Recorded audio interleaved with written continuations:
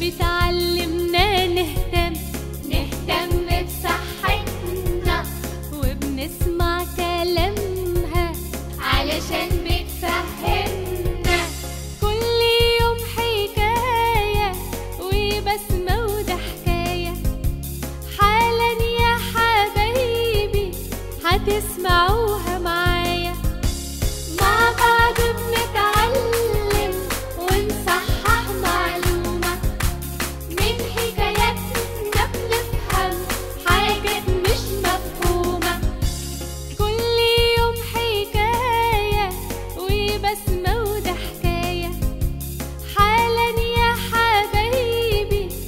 هتسمعوها معايا.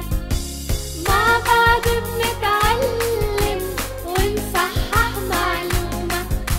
من حكاياتنا بنفهم حاجات مش مفهومة.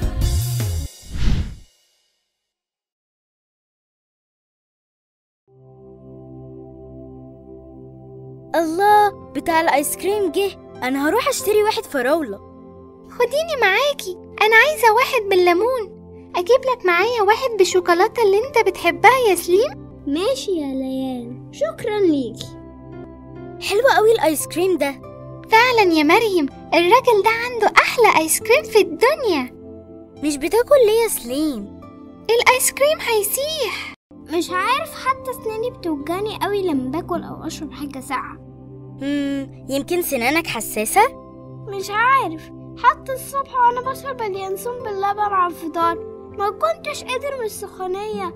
أي حاجة سخنة أو ساقعة بتوجعني. إيه رأيك ننادي ميمة تقول لنا إيه الحكاية؟ نناديها بس أعتقد سنانه حساسة. ميمة يا ميمة يا جنية السنان. قولي الحقيقة وخلي الصح يبان. عاملين إيه يا ولاد؟ مم يامي ايس كريم حد جاب لي معاه؟ خدي بتاعي يا ميمة أنا كده كده مش عارف أكله. ليه يا سليم مالك؟ ما إحنا مش عارفين. بيقول كل ما بياكل حاجة ساقعة أو سخنة بتوجعه. مريم بتقول إن سنانه حساسة شوية. تقصدوا عنده حساسية في السنان.